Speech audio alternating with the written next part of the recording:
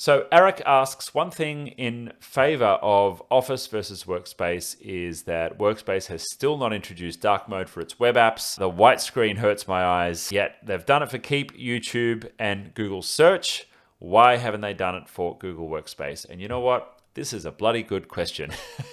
I wish they have. The suggestion here is that that Google are not developing their tools. Google are not putting enough effort into Google Workspace. And I will say that Google are putting a hell of a lot of effort into Google Workspace because Google Cloud and Google Workspace, which is an organization that sits under Google Cloud, is very, very important to Google. They're often accused of not updating the apps enough and not putting enough development and engineering energy into developing Google Workspace as a product itself.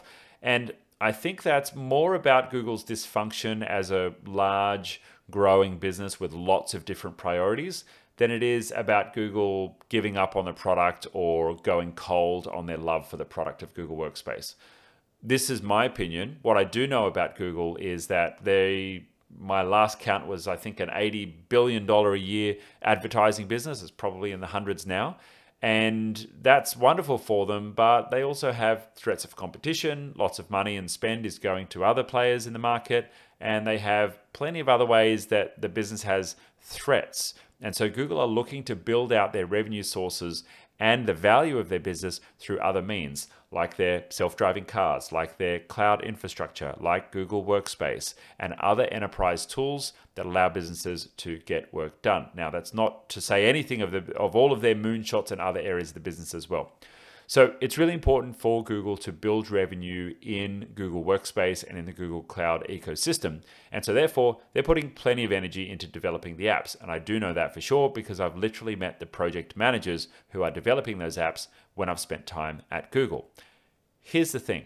Each project manager within Google Workspace will report to a chief of product, and that person kind of sits over everything. But the individual products will actually have individual product managers. There will be a Google Drive product manager, a Google Calendar product manager, a Gmail product manager. And the timelines for implementing something like dark mode across those apps may actually be different because they most likely fall to those individual product managers. Now, Google may have changed their structure over the years. Google may or may not even have this as a priority.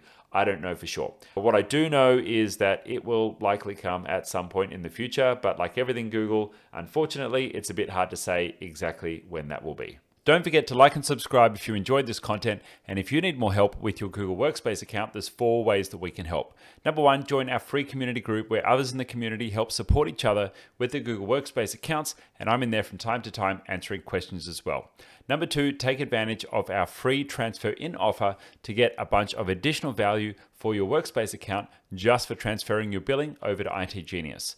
Number three, you can take advantage of a free consultation if you qualify or an IT systems check and audit for everything technology in your business. Number four, if you need help right now, you can either join our concierge program or book a one time fix it service to get support from our professional support team for everything workspace and the Google ecosystem. See you in the next one.